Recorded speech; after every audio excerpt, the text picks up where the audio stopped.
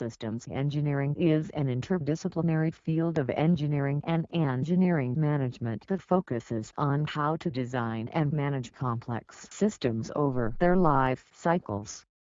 At its core, systems engineering utilizes systems thinking principles to organize this body of knowledge. Issues such as requirements engineering, reliability, logistics, coordination of different teams, testing and evaluation, maintainability and many other disciplines necessary for successful system development, design, implementation, and ultimate decommission become more difficult when dealing with large or complex projects.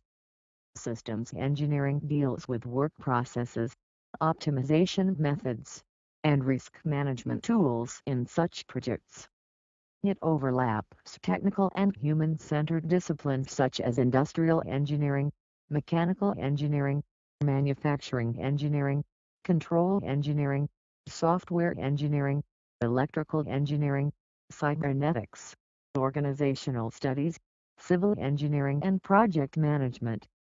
Systems engineering ensures that all likely aspects of a project or system are considered and integrated into a whole. The systems engineering process is a discovery process that is quite unlike the manufacturing process. The manufacturing process is focused on repetitive activities that achieve high-quality outputs with minimum cost and time. The systems engineering process must begin by discovering the real problems that need to be resolved, and identifying the most probable or highest impact failures that can occur. Systems engineering involves finding solutions to these problems.